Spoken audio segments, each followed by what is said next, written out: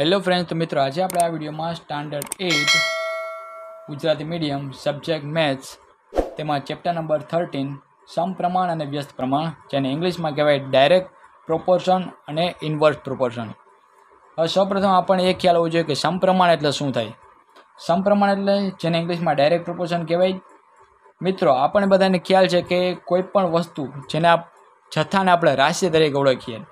બરાબર? જેમ કે ખાંડ છે, તો ખાંડ કેમાં હોય? કિલોગ્રામમાં. બરાબર? ખાંડની હું વાત કરું તો ખાંડ કેમાં હોય? કિલોગ્રામમાં. તો ખાંડ છે, ચોખા છે, એ બધું આપણે કિલોગ્રામ એકમમાં માપીએ છીએ. બરાબર? જેવી રીતે લિક્વિડની હું વાત કરું, લિક્વિડ એટલે કે કોઈ પણ પ્રવાહી વસ્તુ, જેમ કે પેટ્રોલ છે, તો એ કેમાં હોય? લીટરમાં, અથવા તો મિલીલીટરમાં. બરાબર? હવે આપણે વાત કરવાની છે રાશિની કે જ્યારે એક રાશિમાં વધારો થાય, ત્યારે બીજી રાશિમાં પણ વધારો થાય. અહીંયા આપણે રાશિ વિશે સમજી ગયા. આજે મેં એકમ લગાડેલો છે, કિલોગ્રામ અહીંયા લીટર ને એ શું છે? રાશિ કહેવાય. બરાબર? એનો જથ્થો છે આપણે માપવાનો હોય ત્યારે કેમાં માપી? આ એકમમાં, એટલે કિલોગ્રામ અથવા તો લિક્વિડ તો લીટરમાં. હવે જ્યારે આવા જે એકમો છે, એટલે એને રાશિ કહેવાય છે, જ્યારે એક રાશિમાં વધારો થાય ત્યારે બીજી રાશિમાં પણ વધારો થાય. અથવા તો એક રાશિમાં ઘટાડો થાય ત્યારે બીજી રાશિમાં પણ ઘટાડો થાય. તો તેને સમપ્રમાણ એટલે કે ડાયરેક્ટ પ્રોપોર્શન કહેવાય છે. જેમ કે આપણે એક્ઝામ્પલ દ્વારા સમજીએ. વસ્તી વધે તો તેમની જરૂરિયાતો છે એ પણ વધે. છે? જેમ જેમ વસ્તીમાં વધારો થતો જાય, તો પહેલાં જે જરૂરિયાતો આપણને જોતી હતી, એના કરતાં જરૂરિયાતોમાં આપણે વધારો કરવો પડશે. બરાબર? જેમ કે હું વાત કરું, પહેલાં સો વિદ્યાર્થીઓ હતા. તો એના માટે યુનિફોર્મ છે એ પણ કેટલા જોઈશો? પણ હવે એની જગ્યાએ બસો વિદ્યાર્થીઓ છે. તો આપણે યુનિફોર્મ છે એટલે એ કેટલા જોશે? બસો. ખ્યાલ આવી ગયો? તો વસ્તીમાં જેમ જેમ વધારો થતો જાય, એમ એમ આપણેની જરૂરિયાતોમાં પણ વધારો કરતો રહેવું પડે છે. ત્યાર પછી આપણે જોઈએ કિંમત વધે કોઈ પણ વસ્તુની આજે કિંમત વધે, તો એ માટે આપણે બજારમાં જે રાખીએ છીએ, વેચવા માટે માલ, એને કહેવાય પુરવઠો. તો એમાં પણ આપણે વધારો કરવો પડે. બરાબર? એટલે કિંમત વધે તો પુરવઠો વધે.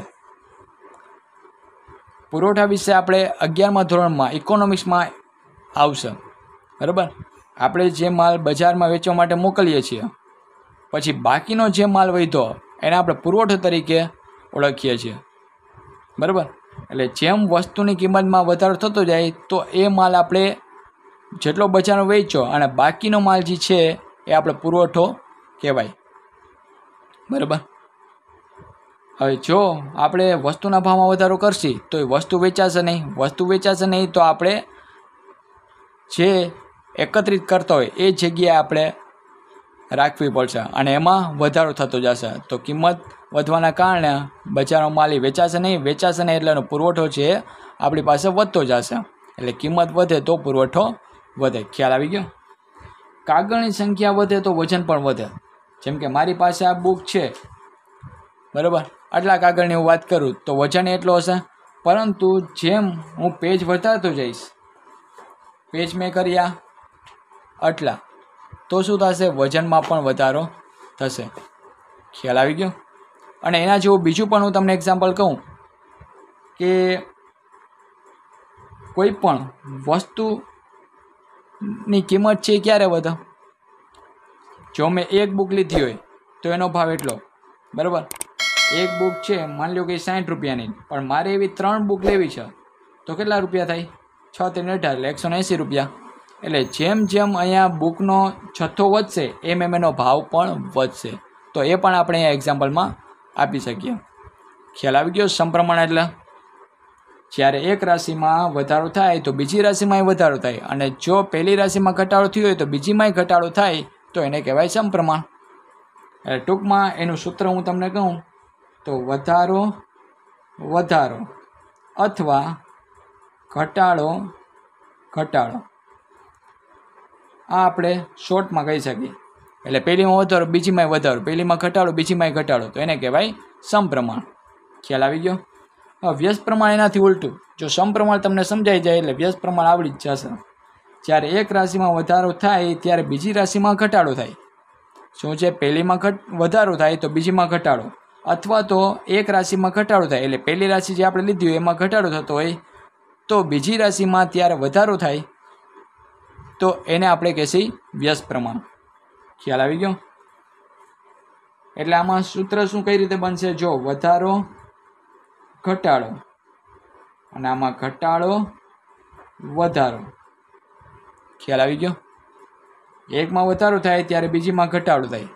અને બીજી પહેલીમાં ઘટાડો થતો હોય ત્યારે બીજીમાં વધારો થાય. તો એ બંને રાશિ વચ્ચે વ્યસ્ત પ્રમાણ છે એમ આપણે કહી શકીએ. કિંમત ઘટે તો માંગ વધે. જો કિંમત છે એમાં હું ઘટાડો કરું, તો માંગમાં શું થશે? વધારો.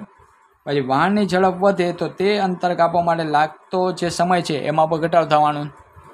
જો હું ઝડપ પહેલાં કરતાં થોડીક વધારું, પહેલાં ત્રીસની સ્પીડે ગાડી ચલાવતો હું હવે એમાં મેં વધારો કરીને ચાલીસ કરી નાખ્યા.